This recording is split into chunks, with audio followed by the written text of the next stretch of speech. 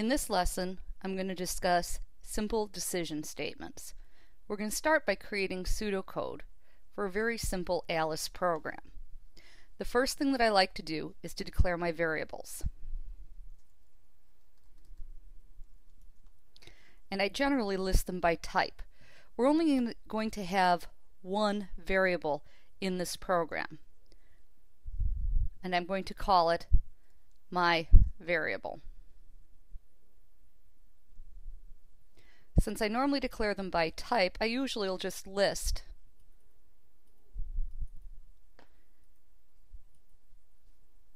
each variable in a category. I only have one, but I'll start the category of Boolean.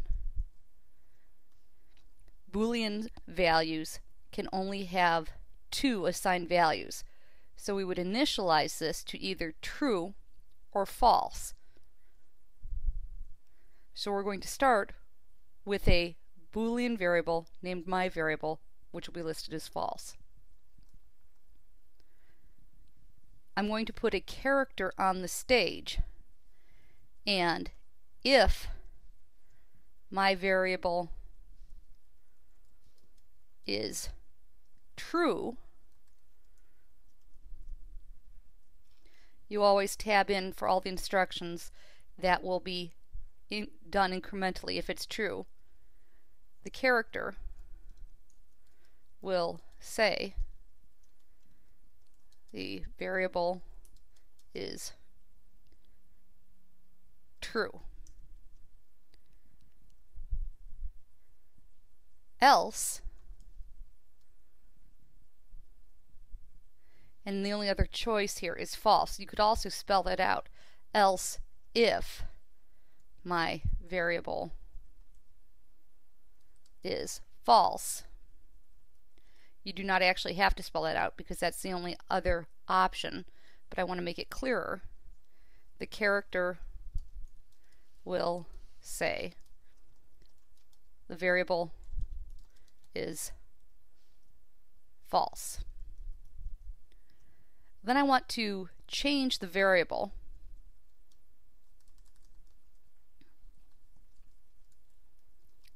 and if you use an equal sign, a single equal sign, that's the assignment um, operator. If you use two equal signs, it compares. So here we're setting the variable, my variable, we're storing a new value in it. We're going to set it equal to true. And then we're going to repeat the code. It's a very, very simple program just to show you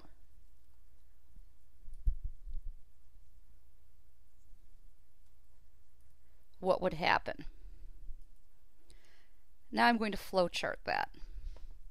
All flowcharts will start with a terminator or start end symbol, usually given the name of the program, which will just be called decision.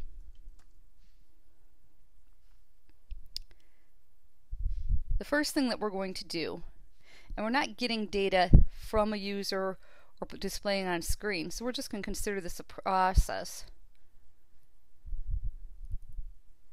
We're going to set my variable equal to false. In the program, we can both declare to make the variable exist and assign a value to it at the same time, which is called initializing it. The next step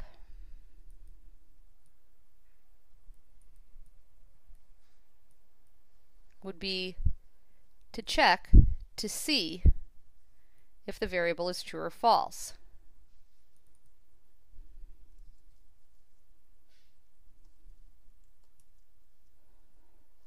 And typically, you would just put text on either side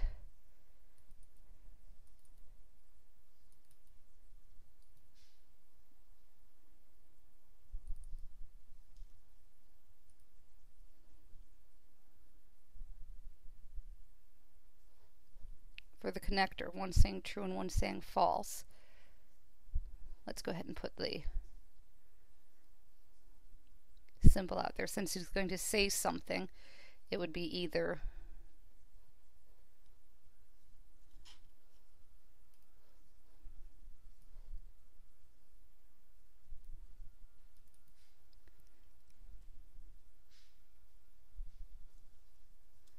say true, he'll actually say the variable is equal to true, or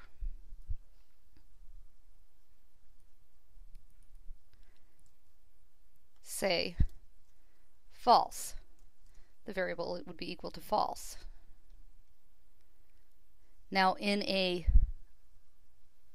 structured program, the logic would always return back to the main part of the structure. So regardless of what happens, the next process will be on the main part of the structure and it will be set my variable equal to true.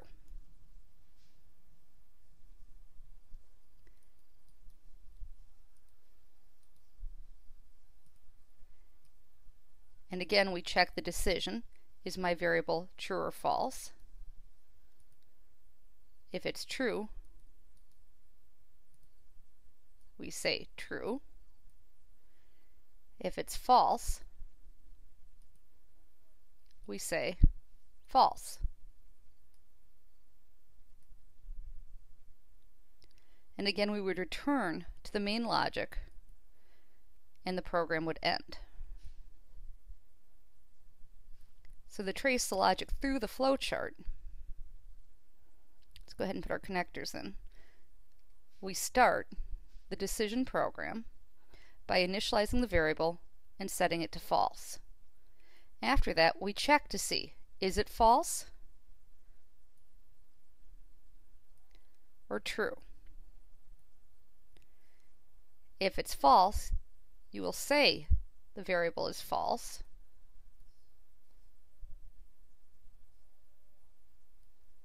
And if it's true, you'll state the variable is true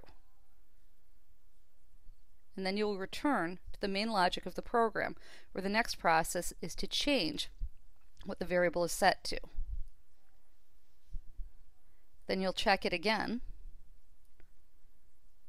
If it's true, you'll say it's true. If it's false, you'll say it's false. Either way, you will return the program and end.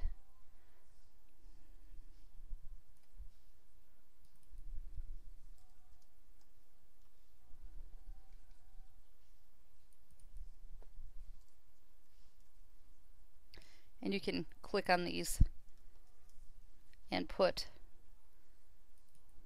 the, var the variables in here, true or false.